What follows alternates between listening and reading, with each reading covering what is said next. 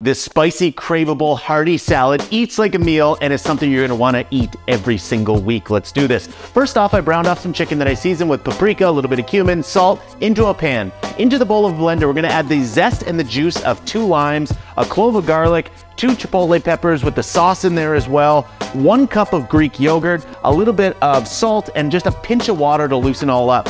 Give that a blend till it's nice and smooth. Now we're gonna assemble this salad up. I've got the iceberg lettuce on bottom, I've got some canned black beans, a little bit of corn, tomatoes, cucumbers, avocado, added on that delicious chicken, pour over that smoky sauce. I'm telling you folks, this is something you're gonna wanna eat every single week. Trust me, trust me on that one, do it.